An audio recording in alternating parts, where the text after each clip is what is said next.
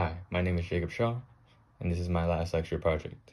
Mr. Dull, English Period 4, Chapter 4, Parent Lottery. In our life, there is many important people we meet. The most important to all of us are our parents. Parents are loving, caring, and they do a lot for us, even though we might not even know. I struck the lottery with my parents.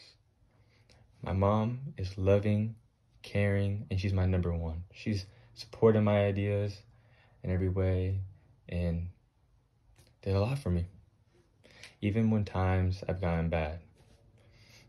Back in 2021, my dad was diagnosed with leukemia cancer back over the summer.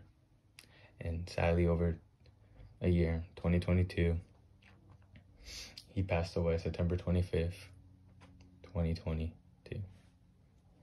My mom was devastated. She was hurt. She cried. She was sad. She lost her husband.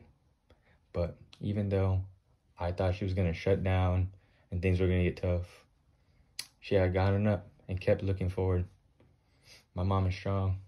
I love her for that.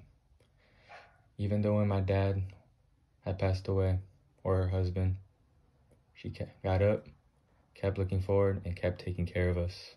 I love my mom. Chapter 11 The Happiest Place on Earth.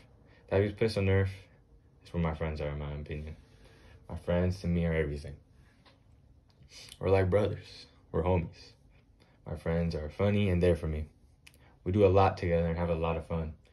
We go party, go hang out, play games together, and everything.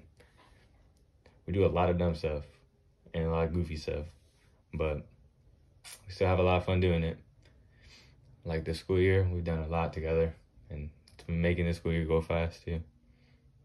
But this was my last lecture project and thanks for listening.